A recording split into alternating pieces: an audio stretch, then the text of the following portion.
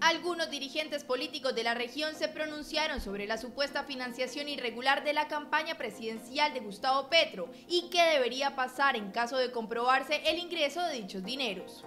Si bien ha manifestado el presidente Petro que fue elegido legítimamente, hoy las declaraciones de su hijo, las declaraciones de Benedetti, los pronunciamientos de la Fiscalía lo convierten en un presidente espúreo, un presidente que no tiene ni goza de la credibilidad que hoy tiene o está pidiendo el país. El presidente, por respeto a los colombianos, debería renunciar.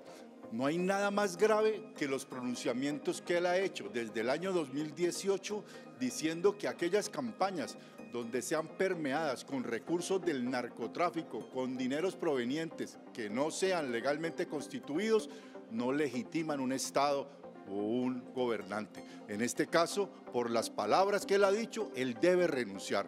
Y debe renunciar de cara a los colombianos, de cara a lo que representa por responsabilidad con el país.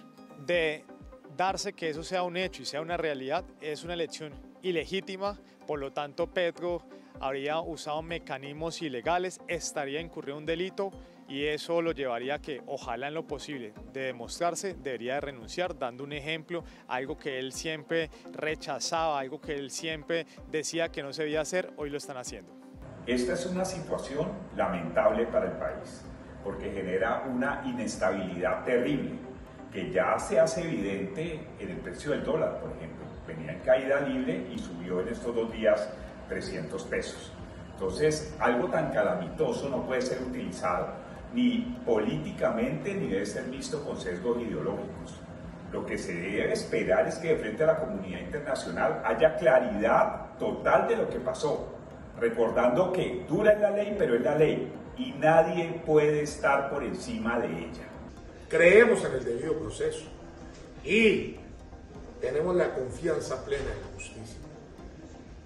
Esperamos que el presidente así mismo actúe. La presunción de inocencia, también creemos en ella. Queremos claridad y esperamos que la justicia le entregue resultados a los colombianos. Por su parte, la gobernadora del Valle, Clara Luz Roldán, a través de su cuenta de Twitter, se refirió a la importancia de la institucionalidad para controlar y esclarecer la crisis política por la que atraviesa el país. La institucionalidad y gobernabilidad del país debe ser más fuerte que el grave deterioro de la seguridad en las regiones y este nuevo episodio judicial. No se debe paralizar el desarrollo ni las instituciones y que se ejerza con seriedad el gobierno. Confío en nuestra justicia, en las cortes, en los órganos de control y en nuestra democracia. El escándalo que hoy se vive es el inicio de una crisis política e institucional. De ser cierta la confesión de Nicolás Petro, el mandatario de la nación debería presentar las pruebas para abogar por su inocencia ante el Senado de la República.